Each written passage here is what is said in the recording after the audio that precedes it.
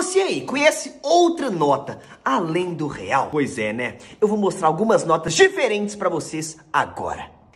Por exemplo, é um dólar canadense. Olha só, 10 dólares canadenses, a moeda é bem bonita, tem uns detalhes transparentes aqui, eu achei bem legal. E 10 dólares canadenses valem atualmente 44 reais. Essa aqui é um yuan. Yuan é a moeda da China e um yuan vale atualmente 90 centavos. Olha só que da hora.